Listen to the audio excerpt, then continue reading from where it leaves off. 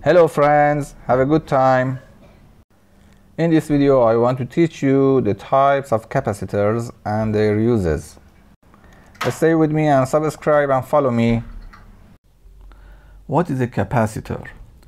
A capacitor is an electronic component that has the task of storing electrical energy and stores this electrical energy in the form of electric charge Q on its plates we have different capacitors that have different uses, but all of them have at least two conductors called capacitor plates. And in the middle of those capacitor plates, there is an insulator called dielectric. And this dielectric determines the capacity of the capacitors. Of course, Different types of capacitors are named based on the type of these dielectric. Performance of a capacitor. In this picture you see, suppose it is a capacitor that we connected to a battery.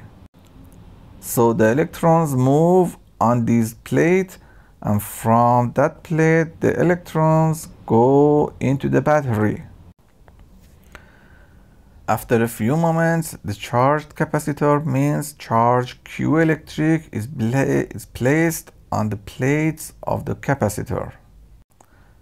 The plate that is connected to the positive polarity becomes positive and the plate that is connected to the negative part of the battery becomes the negative polarity or negative plate. The relation of the capacitor is also equal to Q divided by V. Q is the amount of electrical charge in coulombs stored on the plates and V is the voltage at both ends of the plates. Series and parallel capacitors. Completely opposite to resistors. When the capacitors are parallel to each other, the capacity of the capacitor is equal to the sum of the individual capacities. That is, the total capacity is equal to the capacity of all the capacitors. Suppose we have these three capacitors in a circuit. The capacity of each of them is different and its voltage is placed in parallel at both end of each capacitor. The voltage causes the current to move. If the first capacitor is fully charged to Q1, the second capacitor is charged to Q2, and the third capacitor is charged to Q3. When any of the capacitors are charged, no current flows. Suppose the capacity of capacitor 1 be the least of all. First, it is charged, it doesn't pass through this current, but it passes through these two current lines so that these two capacitors are charged as much as Q2 and Q3. In total, the charge stored on all these plates is added individually. These are the capacities and the total is equal to the sum of the individual capacities of each of these capacitors. Now, if the capacitors are placed together in series, their capacity relationship will be as follows. The inverse of the equivalent capacitor capacity is equal to the sum of the inverse of the capacity of individual capacitors. In this circuit where the capacitors are placed in series, the voltage between the two ends of each capacitor is no longer placed. A part of the voltage between the two ends of each of these capacitors is placed. So as a result, less charge is stored on each of them, which this time causes each of these capacitors don't be charged as much as their nominal capacity. So as a result, the equivalent capacity is much less than the capacity of the smallest capacitor. That is, suppose the capacity of capacitor 1 has the lowest capacity are connected in series. The capacity of the equivalent capacitor is even less than the capacity of the first capacitor. We have different types of capacitors and they have different applications and I will introduce to you. According to this category, electrolytic capacitors, ceramic capacitors, multi-layer capacitors, tantalum capacitors, polyester capacitors, MKT capacitors, and the last part are special capacitors. Here you can see the appearance of the electrolytic capacitor. Electrolytic capacitors have different models, both deep and SMD. In this way, they are usually in the shapes of a cylinder and exist in different capacities and voltage. The electrolytic capacitor is known based on its capacity and voltage. But what are their SMD models like? SMD capacitors no longer have these long metal bases and are assembled on the surface of the board. And SMD capacitors are specified based on their capacity and working voltage. You can see their different dimensions which are determined according to this table. For example, the dimensions of the 470 microfarad size A capacitor are known or size B or size C. So their dimensions are very important, which means choosing these dimensions is important for board design. Polarity. Polarity means the positive and negative sides of the capacitors. In the schematic, the capacitors are identified in this way by two parallel lines.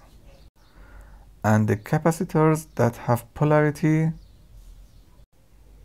which means that their positive and negative bases are separate, are identified in this way.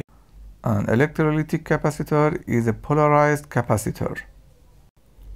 Now, how can we find out their polarity? If it is a deep model, the negative polarity pin is always marked with a line. Now, either this line is white or this line is black. In SMD electrolytic capacitors, the black strip, which is equivalent to negative polarity, is engraved in this way. The type of dielectric of electrolytic capacitors is made of electrolyte and it is like that there are two conductive plates and in the middle of the of it there is a dielectric material like a paper model and this rolled tape is placed inside the capacitor cylinder. The thing is we have to be very careful. If we are not careful and we solder the positive and negative of an electrolytic capacitor wrongly, this capacitor may be damaged and burst and we have to replace the capacitor. Another case where this may happen is that we have not put a capacitor with the correct voltage on the board. For example, here our power supply is 24 volts and we have mistakenly soldered a capacitor of 6 and 3 tenths of volts on the board. As soon as the voltage it is placed on top of these plates. The capacitor will burst and burn. And this may sometimes make a loud noise. And even if someone is on top of the cap this capacitor the substance inside may splash in the face and get hurt. What is the capacity and voltage and how to read electrolytic capacitors? If the capacitors are in the form of a dip which is engraved on the capacitor itself. For example, it is written 2200 microfarads and the capacitor is 35 volts which means that the maximum working voltage of this capacitor is up to 35 volts and its capacity is up to 2200 or for example 25 volts 1000 microfarads. Or this larger capacitor which has a capacity of 330 microfarads 450 volts.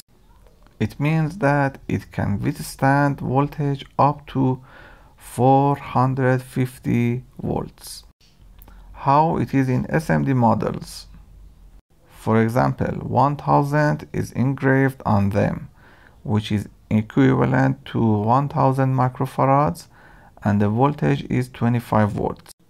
470 microfarads and 25 volts. These two numbers above these codes are about the standard and temperature coefficients and their accuracy. Applications of electrolytic capacitors. The main characteristic of electrolytic capacitors is that they have high capacities compared to other capacitors and other models. So they are mostly used for stabilizing the voltage level or capacitor filters. It is used in the voltage level stabilization circuit. Suppose there is a rectifier circuit. On this side we have sinusoidal uh, alternating current and on this side we want to have a DC output. So this rectifier circuit is a diode bridge I will explain in the next tutorial and after that we have an electrolytic capacitor we put a high capacity the input alternating current that passes through the rectifier in a complete sinusoidal form. Here we have a full wave rectified current which is still not DC we put a capacitor and this capacitor causes that our voltage level is almost constant DC. How does it work? When the voltage increases from this part, the capacitor is charged. And when the voltage decreases, it means that it was charged first.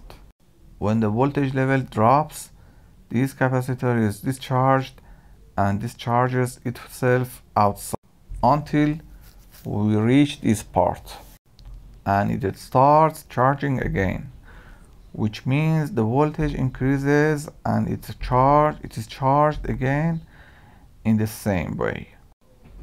When the voltage is decreasing the voltage of this part is lower than the voltage of the plates. It is discharged and when the voltage increases it is charged like this. In our case constant voltage level is created in our output. It can be said that this is the main application of electrolytic capacitor. I hope you have made the most of what was said. Subscribe us and introduce us to your friends.